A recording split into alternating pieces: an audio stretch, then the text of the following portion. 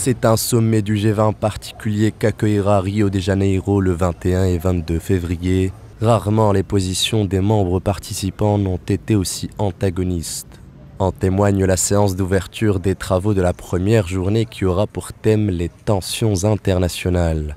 La réunion sera vraisemblablement dominée par les conflits en Ukraine et l'agression sioniste à Gaza.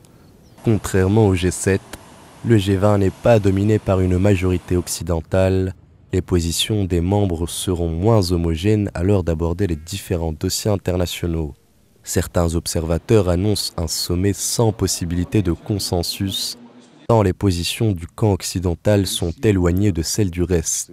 Il y a quelques jours, le président brésilien, hôte du sommet, avait comparé les atrocités commises par l'antitétionniste à celles commises par Hitler à l'encontre des Juifs durant la Seconde Guerre mondiale.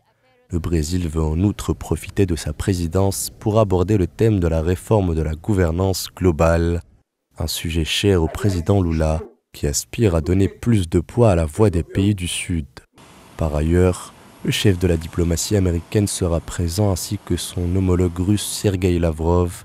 Les deux hommes ne se sont pas rencontrés depuis le dernier sommet du G20, un dernier sommet qui s'était au passage soldé par un communiqué final sans teneur plus protocolaire que politique.